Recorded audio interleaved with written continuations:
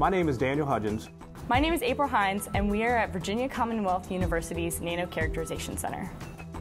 As the world progresses, we are always working toward faster and smaller technologies. Nanotechnology has applications in almost every commercial sector that exists, from electronics with smaller computers to cosmetics and a great deal of green energy applications. Here we have a very finely divided iron nanoparticle slurry that is coated in a hydrocarbon. We also have a very powerful rare earth magnet, and we can demonstrate that the nanoparticles, when prepared in this ferrofluid manner, have the ability to travel uphill.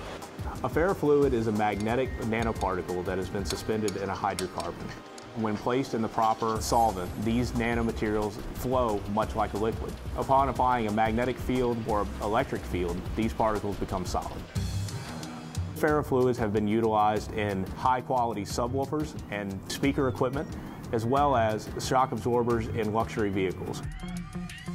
Nanotechnology is really important based on size. We're just adding a solution that's going to allow us to change the size of the particle as it grows. Different sizes produce different properties. These solutions in front of me are different size gold colloids.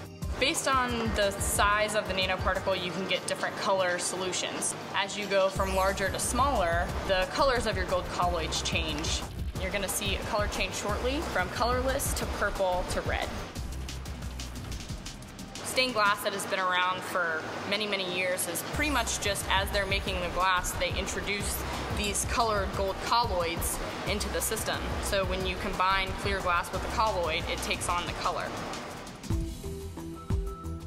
The focus is starting now to shift into more applied work where we look at not just what the properties are or how the properties evolve as the size changes, but also how we can then incorporate that small particle into an actual device or into a commercial application.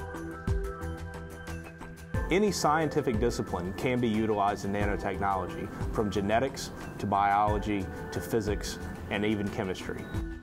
As many intelligent minds as we have in all of the fields that bridge science, nanotechnology is a way to bring all of those expertise together and solve the big problems of society and technology today.